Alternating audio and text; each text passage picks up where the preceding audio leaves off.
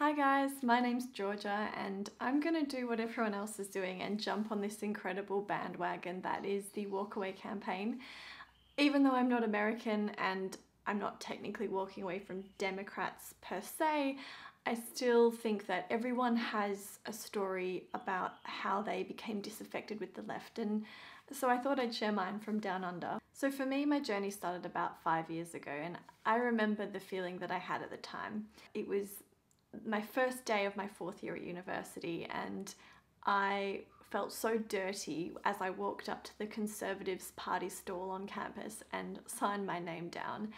My gosh, I felt like I'd signed up with the enemy, like I'd done a deal with the devil himself and it just was so foreign and new at the time and I was so unsure but I'm so glad that I had the resolve to do that because my life has changed so much because of that. Um, I don't think that there's any single event that has liberated me more as a person than my choice back then to mix with a new set of ideas and a new bunch of people who think differently.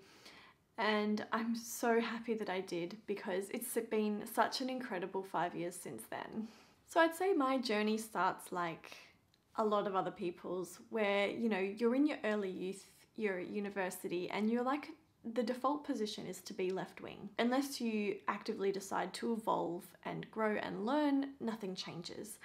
Um, I think that my journey could pretty much be summed up in that quote if you're not a liberal at 20, you have no heart, and if you're not a conservative at 40, you have no brain. Certainly for me, it wasn't like one single event that made me change my mind like suddenly. It was definitely a series of events. I started to see how a lot of the arguments and motivations behind the left were based on emotions and sympathy and pity and their idea that the enemy is the rich white male upper class. Basically, no one is allowed to get ahead or succeed unless they are satisfactorily disadvantaged in some way and deemed worthy of pity, um, be it um, black, gay, trans, female.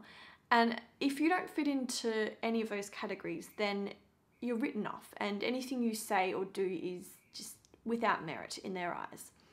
And as someone who has a primarily maths slash science brain, I really struggled to see the logic in this. I want to make sure that what I'm actually doing to help people that I want to help is based on evidence rather than just being based on, you know, patting them on the back because all that does is make you feel noble and superior and good. But it's not necessarily the most effective way to help them. So I wanted to make sure that I was doing the thing that is actually going to make a difference. I gradually began to step out of my narrow vision, which at the time was, you know, a young female oppressed by the patriarchy, and I, I stepped into more a position of neutrality and viewed the world from a more of a non-biased third person point of view. And that was really good because it allowed me to sort of view all of the problems in front of me with more logic and non-biased reasoning rather than how I previously viewed them, which was full of emotion and feelings of self-righteousness. The hardest part was to stop conflating how much a person showed they cared externally with how much of a good person they actually were and how, how good their idea was. And I was very tentative about where this was leading me, um, but I, I really couldn't help but see that real good is often more subtle than that and it's sort of under the surface and and buried under a pile of careful thought and reason. And i mean gradually the fog lifted. It's like i was seeing the world through a different light. And i mean i still have my sympathies but they just don't they don't rule me and they don't dictate what i do. And naturally over a few months I, I took a very sharp veer to the right side of politics and yeah, it was scary. One thing I will say about this whole process is that I never felt more alone going through this than I, than I had with anything else. I felt so alone. In my head, I was the only one who was going through this at the time. Like, I didn't really have any friends who were half interested in these sort of things. And I didn't want to talk to my family because I was scared of how they would perceive me. Like, I didn't want to appear like the enemy because at the time, the ideas that I was starting to think about seemed like they were in the minority and seemed like they were unpopular. So I just kept everything in. There was no helpful walk away campaign going on for me back then.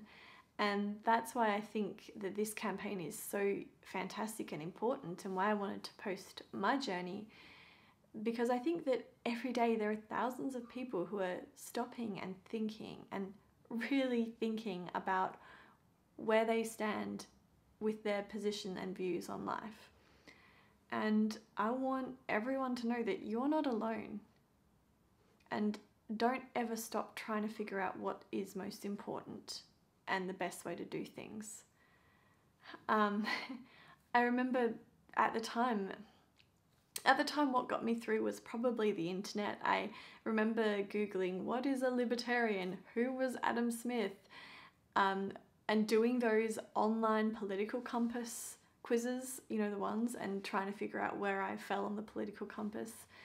And, you know, I even tried to sort of go back to the left, I joined Amnesty International because at the time they were doing a campaign about um, the rights of uh, rural women in Afghanistan that I felt really strongly about. But mixing with the people there, I, I, felt like I couldn't talk to them in a way that I wanted to using, you know, just logic and practical ideas because I just felt like I was going to offend someone and I had to emote correctly as prescribed or leave.